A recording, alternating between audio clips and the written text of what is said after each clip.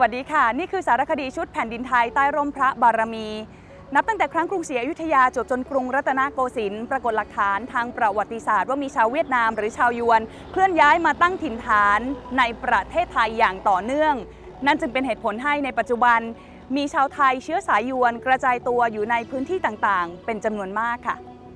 หากเริ่มนับจากสมัยกรุงธนบุรี ยวนกลุ่มแรกที่หนีภัยจลาจลจากเมืองเว เข้ามาพึ่งพระบรมโพธิสมภารในสยาม ได้รับพระมหากรุณาธิคุณ จากสมเด็จพระเจ้าตากสิน ให้สร้างบ้านเรือนอยู่อาศัยบริเวณถนนตรีเพชร ถนนบ้านหม้อ และบ้านยวน ต่อมาในสมัยรัชกาลที่ 5 โปรดให้ขยายถนนบ้านยวน และเปลี่ยนชื่อเป็นถนนพาหุรัตชื่อยวนบ้านหม้อ จึงเหลือเพียงในเอกสารประวัติศาสตร์เท่านั้น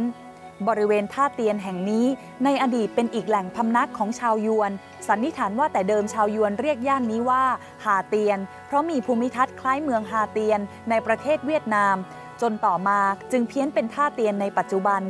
บ้านยวนบางโพ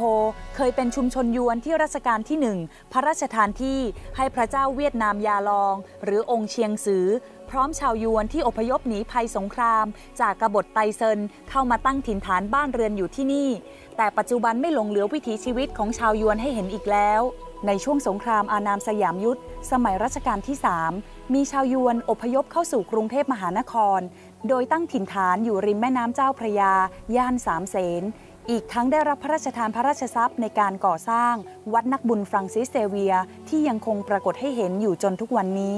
วัดญวนสะพานขาว เป็นอีกถิ่นที่อยู่ของชาวญวนในกรุงเทพมหานคร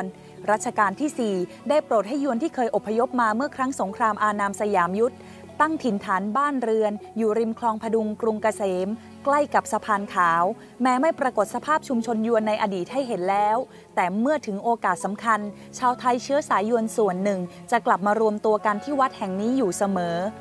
ขอขอบคุณกระทรวงวัฒนธรรม ที่ทำให้เราได้รับรู้ว่า ประเทศไทยคือดินแดนที่พร้อมเปิดโอกาสเสมอสำหรับทุกคนให้สามารถอยู่ร่วมกันอย่างสันติ และร่มเย็นตลอดมา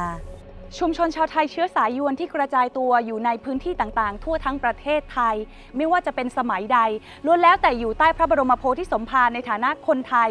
อย่างเท่าเทียมและมีความสุขด้วยกันทั้งสิ้น นี่คือสารคดีชุด แผ่นดินไทยใต้ร่มพระบารมีสำหรับวันนี้ สวัสดีค่ะ